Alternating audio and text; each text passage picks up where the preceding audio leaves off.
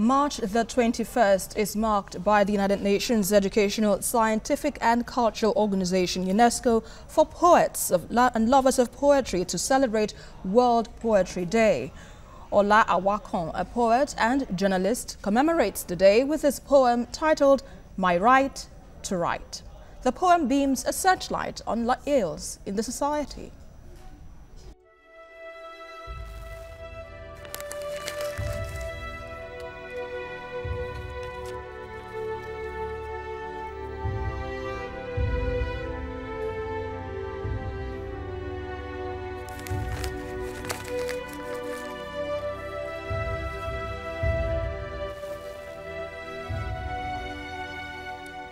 My right to write, my pen to fight. Though my muscle is weak, I may not have the strength to struggle. But my pen will hustle to tell the story of mountain upheaval, the unending explosions and crippling corruption, to talk about the brewing politicking, to talk about the dead values, the blood shedding, to tell the story of the master thief who chastises the hungry masses. Why won't I write? My right to write, my pen to fight. I may not have a loud mouth, but my fountain pen can shout. Shout about the crying soil. Shout about the wailing soul. Shout about the unborn baby who has been prosecuted for bribery. Shout about the bootlicker who won't stop licking dirty footwears. Shout about the defaced books. Shout about the celebrations of insanity over sanity. Shout about the celestial impurity romancing impunity. Why won't I write? My right to write, my pen to fight. The flight of my poetry, journey of my words, will not fear to talk and see like the seer. But I fear if shadows of the culprit have not kissed my blood.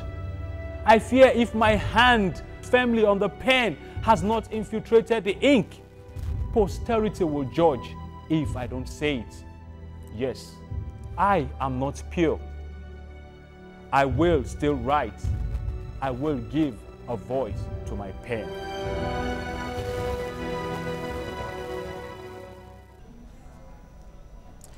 Well, the purpose of the day is to promote reading, writing, publishing and teaching of poetry throughout the world.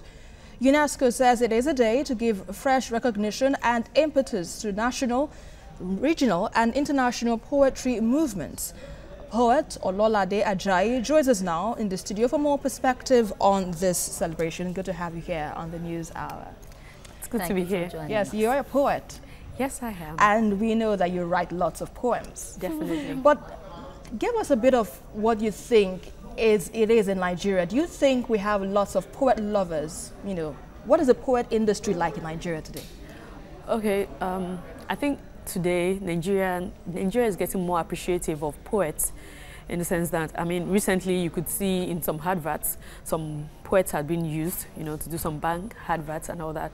Before, Nigerians, I think we just used to think poems are just so difficult to understand, like they don't break it down enough. But so many people, so many poets right now have come down to the level of the average Nigerians write poems that are kind of appreciated nowadays. Mm. And I think we're going to get there very soon in Nigeria, whereby um, as citizens, we are so appreciative of um, the voice of poets in that they, they fight political fights, religious fights, cultural fights for the average Nigerians. I think we're getting there. Mm. All right. Um, in this age of um, social media, how attractive is the image of poetry in the media? Oh, very, very attractive uh, because you could see that um, poetry as a genre has given birth to different um, branches, would I say. Uh, look at um, spoken word artists. Mm -hmm. You can see them, um, they have several YouTube channels that people log into to watch and mm -hmm. you can see it's being used as entertainment in, in so many forms uh, because some, for somebody like me, I write um, what you call indigenous poems mm. and my poems are like they are written in my native dialect. Some of my poems are written in my native dialect, and these are poems like they are like native dialect, not Yoruba. No, no, native dialect, Ekiti dialect okay. to be specific. Okay. I'm from Ekiti and I write some poems in my dialect. And these poems, wherever I take them to, uh, when they are performed, people get to know about the history of um, my state and people get to key into this. So on social media, there's a movement that um, portrays poets as entertainers mm. as well as intellectuals. Yeah, okay. and, and, talking about being an intellectual, you said that you know being mm. a poet is also instrumental for change. If I got you correctly, yes. How far have you been able to use that this tool, you know, to make that change in your society or in your small community, if as it were? Okay. Um, although Nigeria as a country, we've not gotten to the point whereby poets are being, you know, chased around because of their work. Mm. Because despite the fact that we, we put in a lot of um, political activism in our work because there's no poet that doesn't write without passion. It's either anger, love, hate, different emotions. So uh, I think poets in Nigeria right now, the movement is that you, you know you, there's um, um, hate speech right now, but you know when I write my poems, and I'm directing it um, at maybe the government or whoever it is, I can hide my word. I can hide behind my words, and I can say some things diplomatically that mm. when the person that um, the poem is directed to sees it, then they know that okay, this is for me. But because I can be ambiguous with my words. You don't, you can't come at me to say this is some form of hate speech because it could mean something to you and mean something to someone else. So it's really helpful as poets to be able to you know, be involved in political activism because you could get away with saying a lot of stuff. All right, and we have a dialogue between poetry now and other forms of art such as um, music, dance, theatre? Uh, yes, it's, it's always been, you know, there's a blend between... Synergy. Yeah, there's a synergy between music and poetry. Poetry itself is music. There are lyrics in it. There are rhythms, you know, rhymes and all that in poetry. So it's a form of music and as well art. If you see a, um, a, work of art, the first thing you think about is what inspired this. So poetry is also in, you know, drawings in art. Poetry is in any form of entertainment that you could see.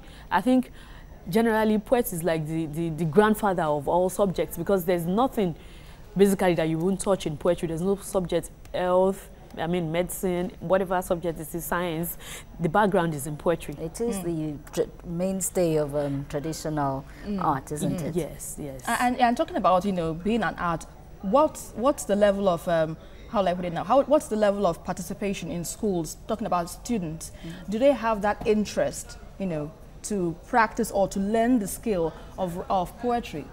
Okay, um, before I say, I think maybe to some extent, the federal governments probably could do a little bit more to encourage poets, uh, major literary arts, because um, if I write a book and it's been recommended and you see something in it that is a classical work of art and it's been recommended rather than the um, American literature, whatever literature that is being instilled, that has been used right from time in school, uh, you know, when indigenous works are being accepted as the major um, what, what students use, mm. I think people will adopt it. Mm. So basically, it's um, left to the people in charge to encourage people, writers, uh, for them to write that, you know, these books will get across to the people that matter a lot.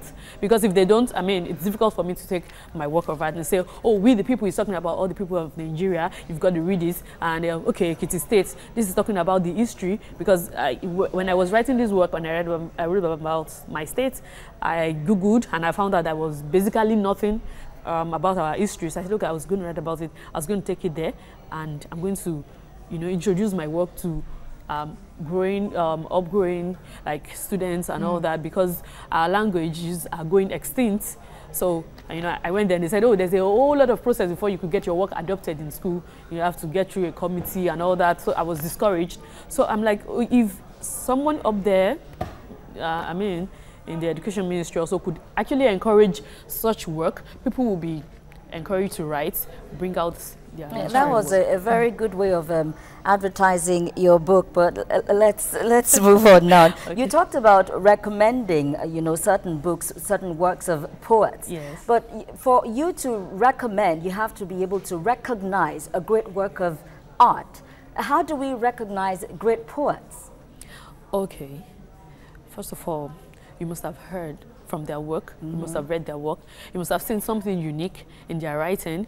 I mean, most poets don't just write for, like I said, they don't just write from this, for the sake of writing. They write because there's a passion involved. And in this country right now, you will see that most poets are probably writing about political activities because of all the um, ongoing activities. So there's no how that uh, someone will put something out there yeah. that is very good that when people see it and recognize it and it's being talked about, uh, people will get to adopt it.